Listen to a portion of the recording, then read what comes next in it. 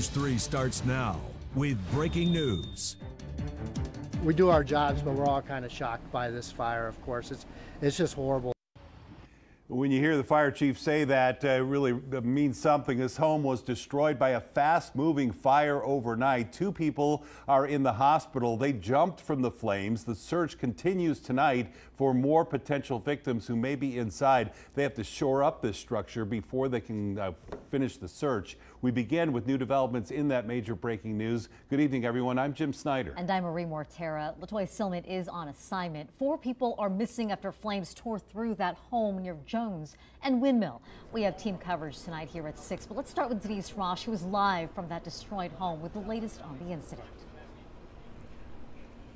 Yeah, Marie, this is being called a recovery operation tonight. Crews are still meticulously going through debris after four people remain missing from that early morning house fire. Behind me here, you can see the, the scene still very active, and I'm told crews could be here through tomorrow. We heard uh, like a big pop, like an explosion and then my, my dog starts barking. Ferdinand Dominguez says his first thought was fireworks, a commotion in his southwest Las Vegas neighborhood, waking him up just before 4 o'clock Thursday morning.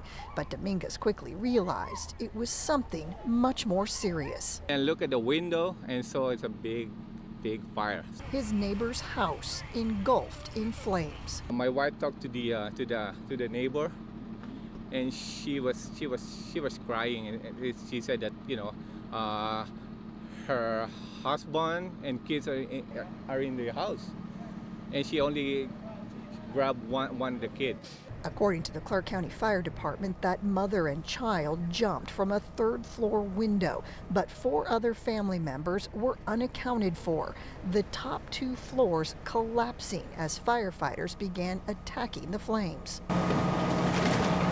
we do our jobs, but we're all kind of shocked by this fire, of course. It's, it's just horrible. Clark County Fire Chief John Steinbeck. We'll go through, we'll do uh, vertical shoring and what we call raker shores. So those shores are built to hold walls up that are uh, either from the exterior or interior side and uh, replace all those structural members that got burned. And then we will tunnel through the debris, setting cribbing and shoring as we go to to make it safe to uh, get to the areas that we think we need to get to. Once the fire was out, Marlene McCraw says firefighters knocked on her door. Asked if I, he could use my camera because my camera apparently is the only one around here and it can visualize down the street. She and other neighbors in disbelief over the extent of the tragedy. So we've seen the kids.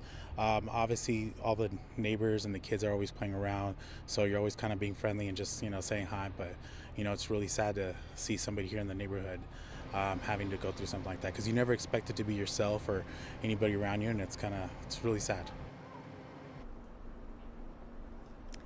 And we have just been given word that those four victims have now been located. Two adults, two juveniles. We'll have so much more on this continuing story on later editions of News 3.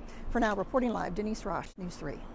Oh, it's just heartbreaking. It is uh, just a horrible loss there, and that information just coming in. Denise, appreciate getting that uh, from the scene, but just a devastating loss from this one.